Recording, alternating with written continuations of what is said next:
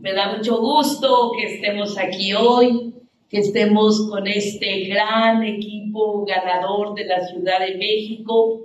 un equipo que logró ponerse a la altura de esta gran ciudad.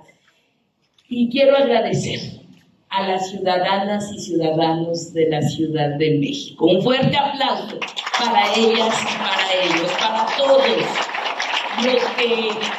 son militantes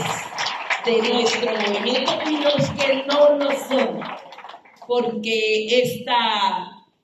decisión que tomaron el día de ayer, pues es una decisión de mucho pueblo, de mucha ciudadanía que quiere que siga la transformación en la Ciudad de México, que quiere que siga la democracia, que quiere que continúe y que se construya el segundo piso de la transformación. Así que un agradecimiento a los capitalinos, a los chilangos y chilangas, a las ciudadanas y ciudadanos por hacer el día de de ayer una jornada excepcional, una jornada electoral que está dando grandes resultados.